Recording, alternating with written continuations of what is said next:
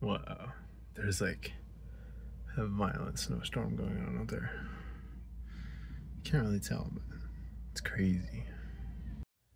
It was a very abrasive re-entry to work this morning.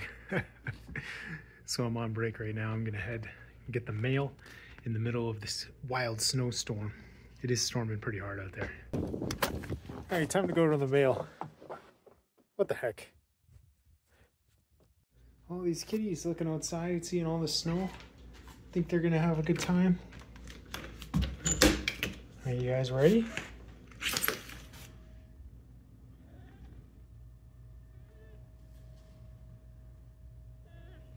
Yeah, it's pretty cold.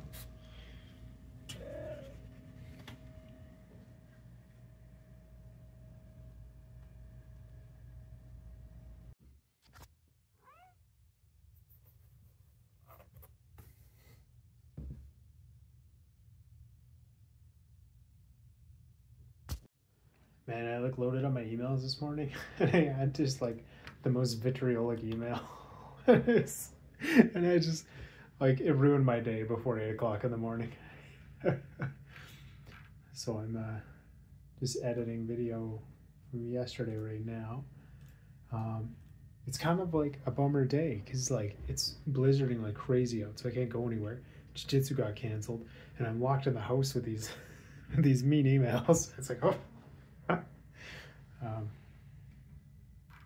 yeah, that email ruined my whole day. Uh, it's weird coming back to work, man. I gotta get like my life organized again. It took me, I like, of course, stressful day. Anticipated that coming back, um, but man, it took me like three and a half hours just to like chill out after work. I was so like, yeah, got some, got some pretty nasty emails today.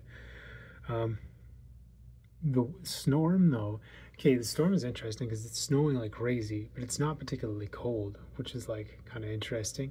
More than anything though i'm excited because this means that i'll probably be able to ski a few more times this year which is awesome because i was getting really into the skiing and having a lot of fun with that. So hopefully it's supposed to snow for two days and then be freezing cold for a few days and then i don't know after that but um, hopefully it'll get back up to kind of the minus minus 10 and under.